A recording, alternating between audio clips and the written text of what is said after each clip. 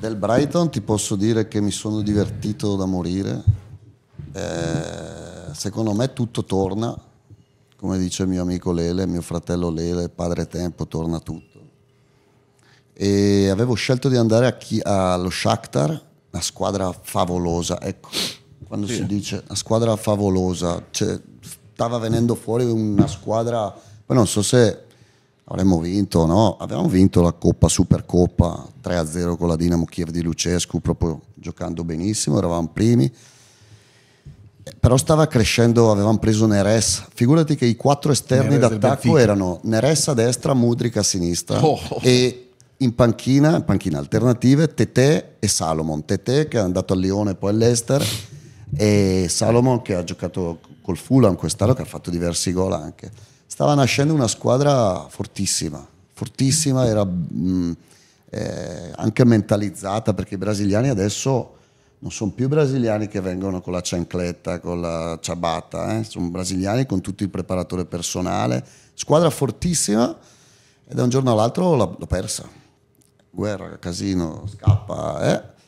e, e l'ho sofferta molto, al di là della guerra, che poi uno non si dà mai una spiegazione. Poi, parlando di calcio, mi avevano strappato la mia creatura che stavo, che stavo giorno dopo giorno crescendo, lavorando.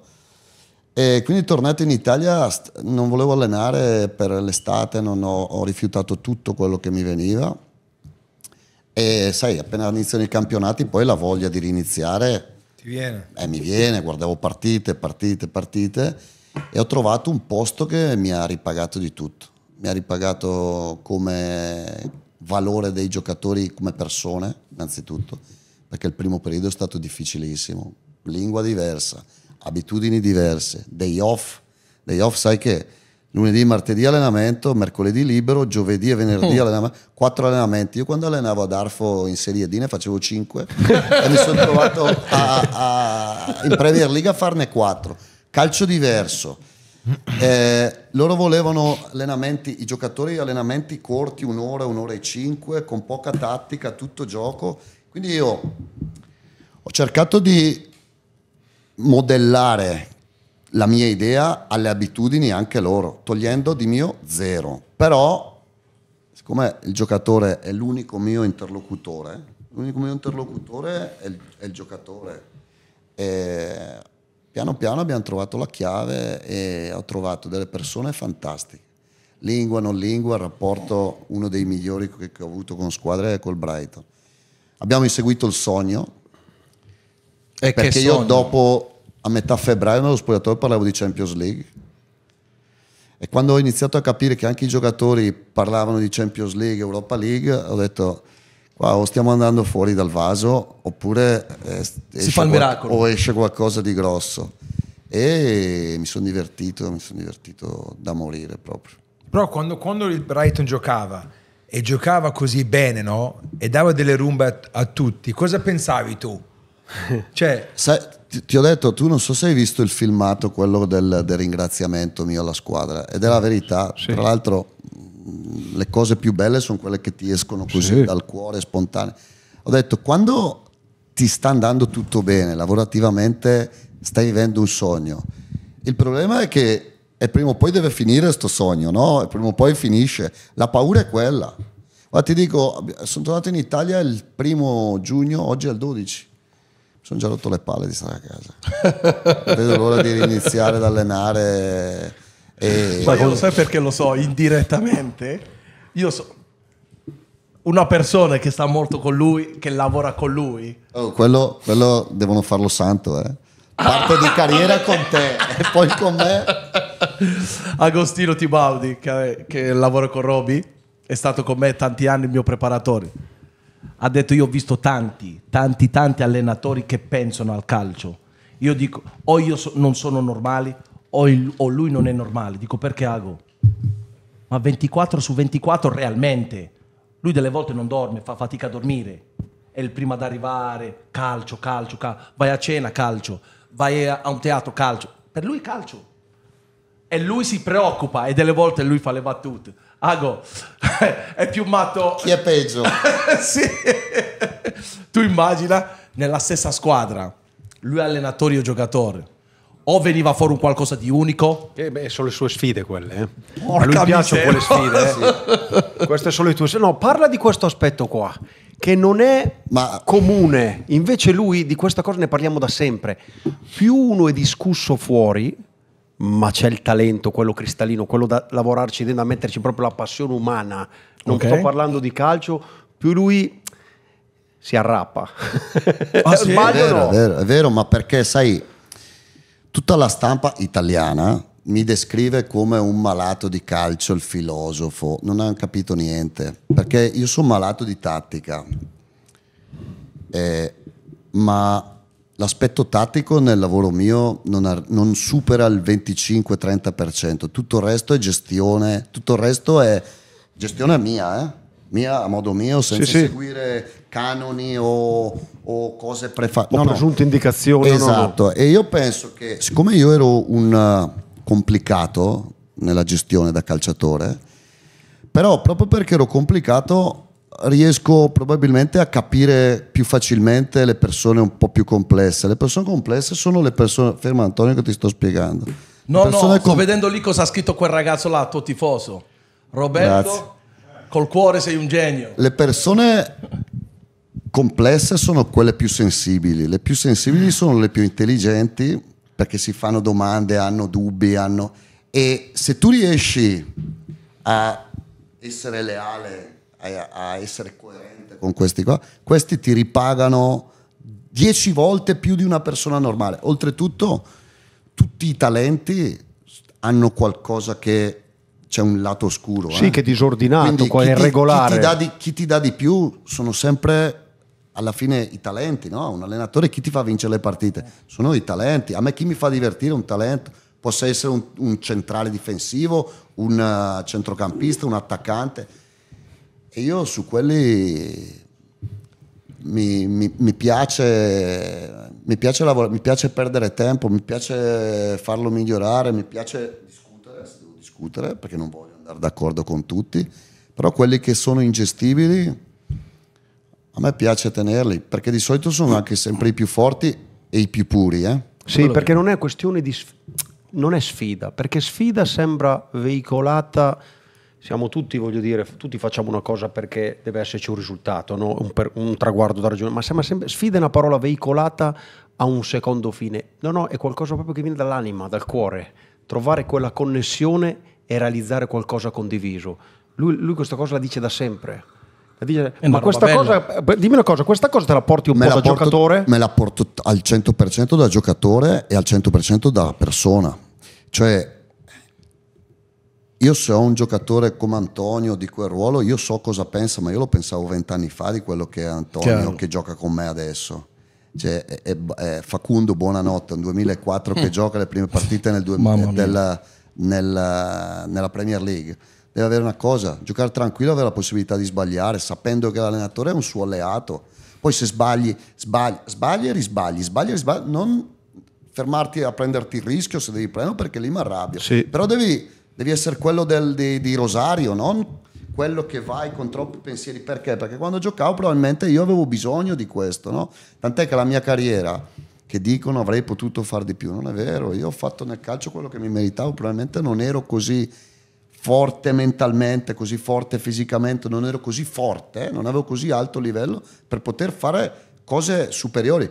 Però io sono un talento in mano, giovane, che sia giovane o che sia inespresso, è responsabilità mia tirarlo fuori. eh. Al di là del risultato collettivo, al di là di quanto lo vendi, perché il talento non posso bruciarlo, Mudrik non posso bruciarlo, Enciso non posso bruciarlo, eh. Buonanotte non posso bruciarlo, Colville non posso bruciarlo, è responsabilità mia anche. Roby, invece io ti voglio fare una domanda, come hai fatto? Perché io il Brighton l'ho seguito tanto anche all'epoca di, di Potter, a riuscire a far giocare in un modo meraviglioso Dunk.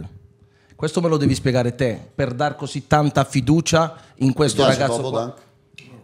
Ma lascia stare, lui è così, è un centrale difensivo. Io sono onesto. eh. No, perché è un difensore centrale della tua stazza, pensavo che... Esatto, no, sì, allora, no. dove lui scusa e ti, faccio- ti finisco la domanda Roby dove arriva a un certo punto incasinate eccetera con la testa l'appoggia al portiere col petto l'appoggia al portiere arriva un metro l'attaccante che se ti rubano la palla sei morto, ti viene, ti punta, quello che tu ovviamente vuoi, ma la domanda è come hai fatto a fare questo lavoro a uno dei giocatori, tra virgolette, del Brighton meno forte tecnicamente?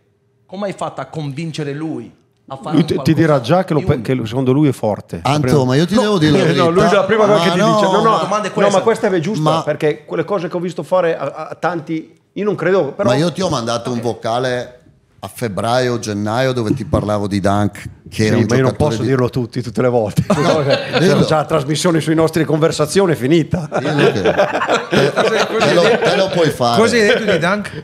No, allora, questa è un'altra. Io ti devo rispondere con, con la verità, no? E, e questa cosa è una cosa che io penso veramente. Eh, io penso di essere capace a fare l'allenatore, Antonio. E anche Tu mi molto bene. No, io penso di essere capace. Non penso di essere né un genio né qualcosa in più. Io ho avuto la fortuna di avere sempre giocatori forti, magari inespressi, magari poco considerati, ma giocatori forti. Partendo dal primo Foggia, eh? Ok. Partendo dal primo Foggia dove avevo una squadra piena di talento, giocatori che avevano fatto di meno di quello che avrebbero potuto, giocatori magari dove bisognava stimolarli o, o farli eh, prendere ancora di più consapevolezza. Con Danco ho fatto quello che ho fatto con tutti, gli ho dato responsabilità e probabilmente ho alzato l'asticella. Io, voi siete stati tutti e quattro giocatori più di livello alto di me. Io credo che la, la cosa che differenzia i giocatori di livello altissimo con i giocatori normali sia l'autostima. Chiaro. L'autostima, io penso che se parli con Bobo quando entrava in campo e faceva tre gol, l'autostima, io dico ai giocatori miei, deve resentare, resentare vuol dire non deve mai superarla, però deve, stare, deve essere a- al confine tra la presunzione, non sfociare nella presunzione, ma essere lì al limite, perché sennò quando tu ti senti forte e tu puoi dribblare chiunque. Chiaro. Quando tu ti senti, ma cosa faccio adesso? Riesco a saltarlo? No? Quando ti viene a puntare un, un- un- uh, Lele, quando ti puntava un giocatore, se tu hai l'autostima, chi ti aiuta ad avere l'autostima alta? Io credo che sia un compito dell'allenatore. Questo, questo l'allenatore ha, credo, margine di lavoro. Non determina il risultato l'allenatore. Io non penso di aver mai determinato un risultato. Invece io, Roby, ti ripeto, ovviamente tu fai l'allenatore, lo fai non bene, ma molto bene. Io ripeto, di Dunk non sono d'accordo, perché io penso che uno step importantissimo l'ha avuto nell'epoca tua. Perché io, ripeto, con tutto il rispetto e il bene che io posso volere a sto ragazzo qua, ripeto che da quando tu alleni lì io vedo tutte le partite, con Lele un giorno sì e l'altro pure, parliamo o di te o della tua squadra, non c'ho tante alternative. Dunk è sempre stato, tra virgolette, un lungagnone dove il classico inglese, io vedendo quello che lui ha fatto, se non ci sei te dietro, io ne dubito, anzi io sono certo che lui lo step in questo momento qua addirittura si parla di nazionale. È andato in nazionale. è stato No, esatto. E quando è stato convocato, Capisci? davanti a tutti gli ho detto, andare non basta, deve andare a cercare di fare il protagonista, perché ha le qua- io credo, credo veramente, vabbè, sai, quando parli dei tuoi figli o delle persone... Bravissimo. Tieni il microfono. Giustamente. Sei sempre, Giustamente, tendi Roby. sempre ad andare oltre, no? Però Eh, Roby, se tu mi parli di Locatelli, se tu mi parli di Maxim Lopez, se mi parli di Vincenzo Sarno che avevo a Foggia o di Gigliotti, il difensore centrale, per me Ma erano... giusto, Roby, però io poi vedendo al di fuori ne sono convinto di questo perché io amo il calcio e amo vedere le cose belle. Io vedo le- le partite tue, quelle di Pep, quelle di Xavi. In Italia vedo quelle di Spalletti, poi il resto fanno cagare tutti. Però poi alla realtà dico, io Dunk l'ho seguito tanto, l'ho visto tanto. C'è stata un'evoluzione impressionante e io dico c'è solo un merito, eh, perché è- è sotto gli occhi di tutti, ripeto fino all'anno scorso che arrivassi te, lui faceva grande fatica, anche nella marcatura, non sentiva mai l'uomo davanti. Ogni volta che li tiravano, è tre metri e lui andava sempre allo scontro, boom, contra... Adesso gli ripeto, stato, ci sono state 3-4 partite dove che vi attaccavano, le poche volte che vi attaccavano in area di rigore, questo arrivava la palla, colpetta al portiere. Sì, io credo che lo, step più grande che abbiamo fatto, parlo del Brighton, sia quello di vederci in Europa League, che è diverso che lottare per arrivare in Europa League. Vederti in Europa, infatti, è quella, quella io credo che l'allenatore debba... Ti ricordi quando io ho detto a Sassuolo non firmo per il quarto posto? Che mi hanno preso tutti Uh, per eh, uh, fenomeno monta- Quella roba lì io Mamma l'avevo fatta per far capire alla squadra. Io avrei firmato col sangue per il quarto posto e anche per il sesto. Robert- Però io in quel momento lì stavo, stavo cercando di convincere i giocatori che avevamo la possibilità per, per arrivarci. Ecco, io credo che al Brighton quando loro sono diventati consapevoli che potevamo lottare per quel traguardo, se no non fai le par- se no non vi e, questa cosa qui anche fare tanti gol eh. questa cosa qua l'Atalanta io credo che quando l'Atalanta mi dava schiaffi a me 5, 4, 6 ma li dava un po' a tutti faceva paura perché sapevi che quando l'affrontavi e non eri giusto ti massacravano e sai se vinci 1-0 2-0 ma se prendi 4 5-0 eh, poi vieni ad affrontarmi in maniera diversa tu che vieni dalla partita successiva capito? Ma infatti le partite... Allora, voi avete finito la stagione in crescendo, onestamente. Io le ho viste, non so, forse l'Everton, ma poi al di là del risultato parlo. Però la stagione è finita in crescendo, ma è- è- secondo me dipende da- dal il credere di esserci lì. Quando tu sei arrivato lì, difenderla ti ha dato un'autostima maggiore. Cioè, i, i giocatori che sono entrati, tra l'altro, hanno fatto dei gol bellissimi, uno, l'altro secondo me crescendo l'autostima il messaggio è più fortificato cioè io ho visto io ho vi- le giocate il ritmo ti faccio un esempio noi abbiamo fatto una call di un'ora io te quando era venuto Silvio Baldini da te a trovarti abbiamo fatto una call di un'ora la sera prima della partita col Manchester City che gli ha dato la matematica Ok. non due giorni prima, la sera prima, dove in Italia cosa si fa da mezzanotte a luna? Si sta sotto le coperte impauriti perché se c'è un rumore. Oppure si mandano i Madonna, messaggi ai giornalisti capite? per essere coperti il culo. Attenzione. No, ma ci sta quello, non Questa, c'è problema. questa dobbiamo parlare dopo bene Ci andiamo cose. bene, ci andiamo non per- Attenzione, perché sai, sei sveglio, la televisione è troppo accesa, vuol dire che non, non ride, non si ride in La ritiro, non musica, bisogna... la musica in pullman. Madonna. pullman. Un'ora abbiamo fatto, ma oh, a parlare di tutto, eh? Parlare di tutto e in quel tutto anche del calcio. Di tutto tranne che del Manchester City. La partita che gli dava la matematica. Abbiamo parlato un'ora. Io e lui e Baldini e Silvio. C'erano tutti i suoi uomini dello staff, quindi eravamo in dieci collegati. Chiaro. Da mezzanotte a luna, eh? Proprio sereni, tranquilli. Il primo tempo col Manchester City è stata una roba incredibile. Il primo tempo col Quella l'abbiamo Manchester City è stata una roba incredibile. Io Manchester City è la squadra più forte del mondo, eh? La squadra poi il Manchester City, vero eh? Si è presentato vero, vero, tutti. vero eh? Il primo tempo col Manchester, perché tu dici tu hai battuto l'Arsenal, hai battuto lo United, una settimana dopo che hai perso i rigori, hai battuto il Chelsea a Stamford Bridge. Ok, questo è storia. Ma noi abbiamo parlato un'ora di, tutt'altro, cioè la sera prima Ma gli hanno fatto un culo. sei- Gli ha fatto un culo, ma sui- sul dominio, sul protagonismo, sulla gioia di giocare, sugli uno contro uno, sul provare a calciare in porta, sulla gioia era, sembrava l'equivalente di una partita, ok?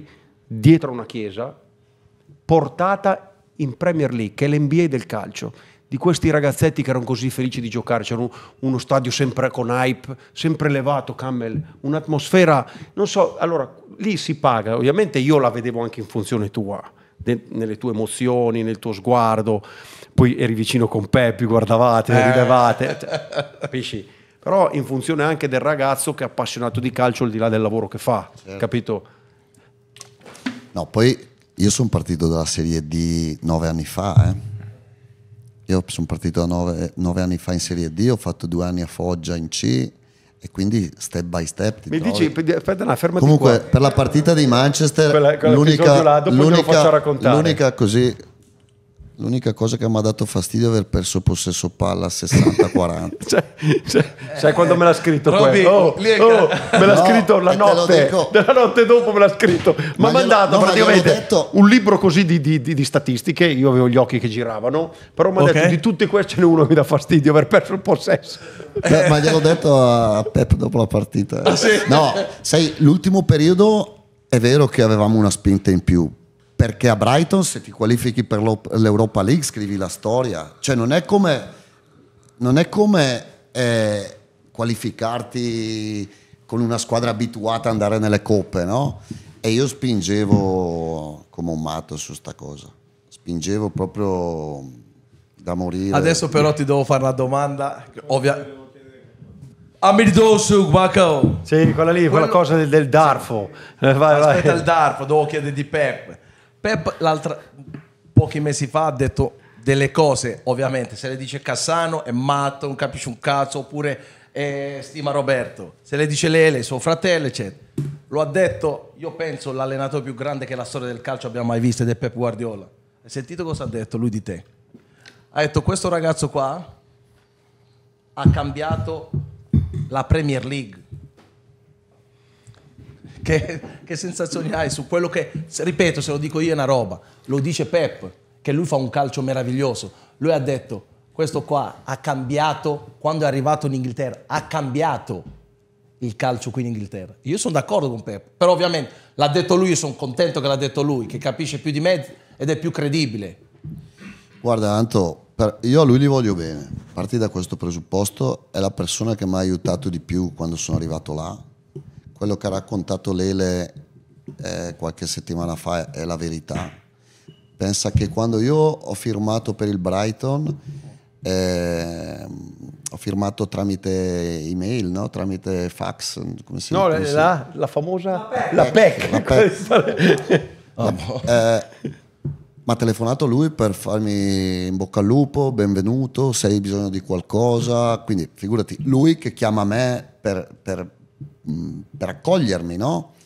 E quella cosa invece che è successa veramente col Manchester City, che io ho saputo veramente dopo, è una cosa che mi, aveva, mi ha lasciato senza parole perché io non lo conoscevo da Brescia, io l'ho conosciuto 12 anni fa. Sono andato con eh, un mio amico a vedere i suoi allenamenti a Monaco e c'era, stesso giorno, stessi giorni c'era Rino Gattuso con me. Però sai, Gattuso è Gattuso, aveva fatto una carriera da calciatore. A me chi mi conosceva? Nessuno. Io conoscevo il fisioterapista del Bayern, che è un italiano, e mi ha tenuto a me e a Gattuso 50 minuti dentro il suo ufficio, Guardiola, e sembrava che parlasse a Gattuso e a Pirlo. E ma non ero io Pirlo, io ero un giocatore di, di B, di C italiano, no? E, e mi ha accolto con, con una generosità, tant'è che quando vengono a, a trovarmi gente da fuori, adesso io ospito tutti, perché mi ha accolto in quel modo Guardiola, poi dopo mi accolse allo stesso modo Bielsa a Lille qualche anno dopo. Mi ha fatto piacere leggere queste cose, eh, per me lui è il numero uno, quindi se le dice lui che è il numero uno, a me è il numero uno, però numero uno della storia. Sono d'accordissimo. Assieme a anche Sacchi ha cambiato tanto e a pochi altri, perché io non, non considero quelli che cambiano il calcio o i migliori della storia quelli che vincono di più. Io ho un altro metro di giudizio. D'accordo. E mi ha fatto piacere, non so se ha esagerato, però certo che ricevere i suoi complimenti eh, mi mette- mi ha messo anche a disagio, non era la prima volta che me li faceva, mi metteva a disagio e, e ti dico che sono contento dei suoi successi perché non riesco a capire come mai lui debba dimostrare sempre qualcosa in più per essere sdoganato come quello che ha cambiato. No, io capisco che qualcuno parte col pregiudizio eh, di, di- di, mh, di cose loro personali, no? però io vedo tanta invidia, tanta cattiveria nei suoi confronti. Cosa che deve fare? Cosa che deve fare? Ha vinto 5 Premier su 6. Alle finali sì, ne ha persa qualcuno, poteva vincere qualche Champions in più, ma non è il numero di Champions che danno il valore a Guardiola, eh?